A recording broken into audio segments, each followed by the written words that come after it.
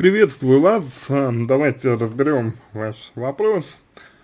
А, муж а, постоянно ревнует, обвиняет в изменах, говорит, сам у него бли ближе к ночи, начинает в голове крутиться все это, ходит за мной по пятам в доме. Как побороть эту ревность?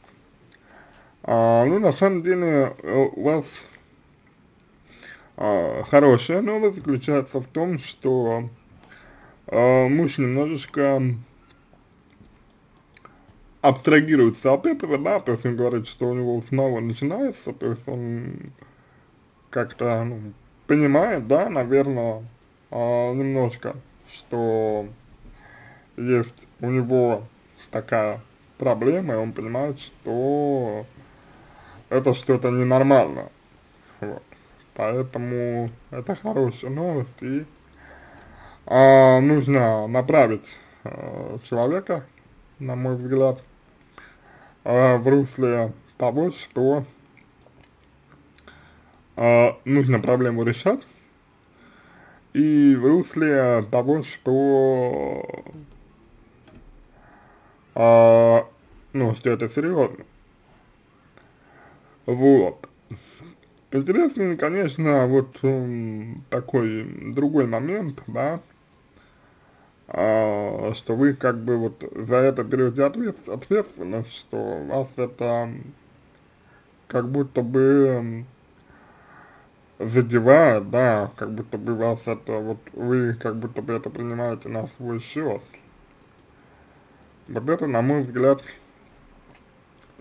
проблема. А потому что как это, как это, то, что говорит э, ваш муж, да, например, относится к вам, то есть как это, ну вот, э, влияет на вас. Вам это неприятно, вас это задевает, вызывает злость и так далее.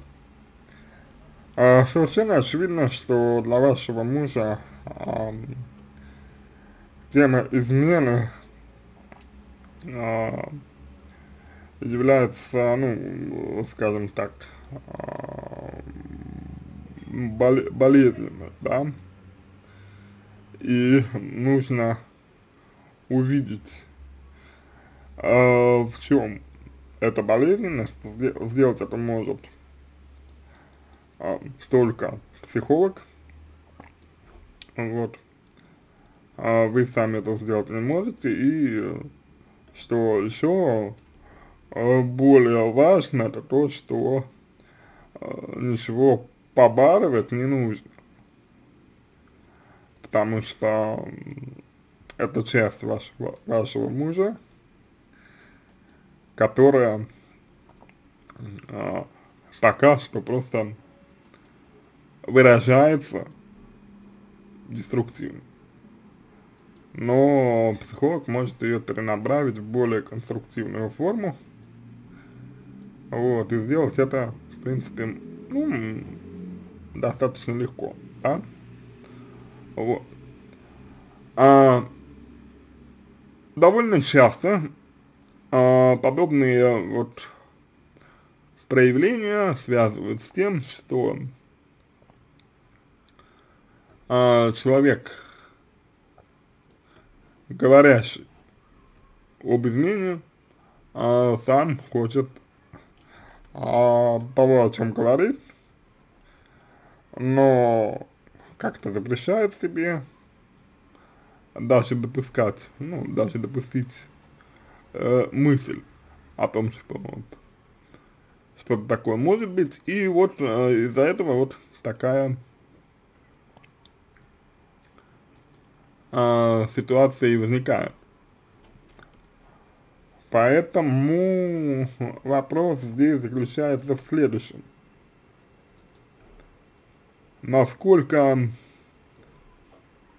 у вас с вашим мужем доверительные отношения, это раз. Насколько вы говорите друг другу о своих желаниях, это два. Э, и на каких основаниях вы выстраиваете отношения, это три. То есть как вы вот друг друга воспринимаете, да, и